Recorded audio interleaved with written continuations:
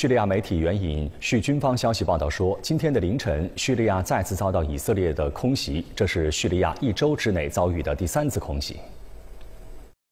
据报道，二号凌晨，叙利亚中部霍姆斯省及周边地区遭以色列空袭，叙利亚防空系统迅速启动并拦截大部分以色列导弹。此次空袭造成叙利亚五名军人受伤以及部分设施受损，以色列方面暂未就此作出回应。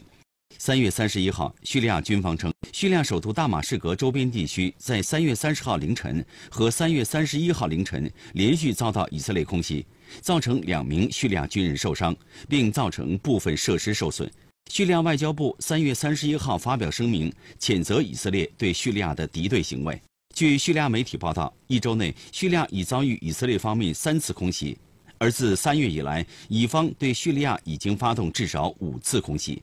自2011年叙利亚危机爆发后，以军多次以打击所谓伊朗军事设施为由，空袭叙境内目标。叙利亚和伊朗政府均否认伊朗在叙驻军。